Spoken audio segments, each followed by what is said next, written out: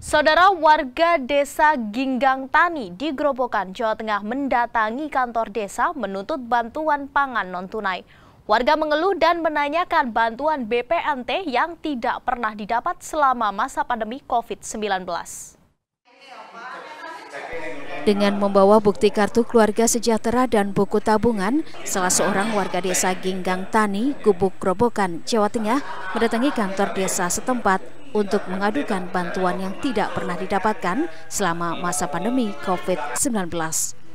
Padahal, warga yang terdaftar dalam Kartu Keluarga Sejahtera dapat menerima bantuan pangan non-tunai sejak bulan Maret yang lalu saat diumumkannya masa pandemi COVID-19. Sementara pihak desa akan menindaklanjuti keluhan warga ke Dinas Sosial Grobogan. Nominal bantuan BPNT per bulan Rp200.000 untuk bantuan BPNT perluasan yang dicairkan selama 9 bulan sejak bulan Maret 2020 yang lalu. Dari awal penelitian oh. sampai sekarang belum ada isinya. Tidak ada isinya. Pernah diambil ke BRI itu? Pernah. Oh. Terus? Tapi penjaga BRI-nya bilang belum ada kartunya, padahal saya sudah ada kartunya. Hmm. Kartu.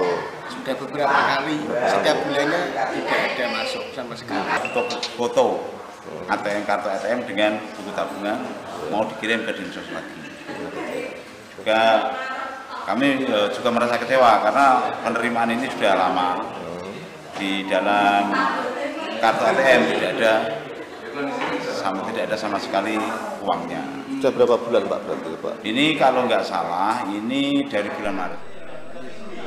Para penerima bantuan berharap bantuan bisa segera dicairkan karena kondisi mereka yang serba sulit di tengah situasi pandemi COVID-19.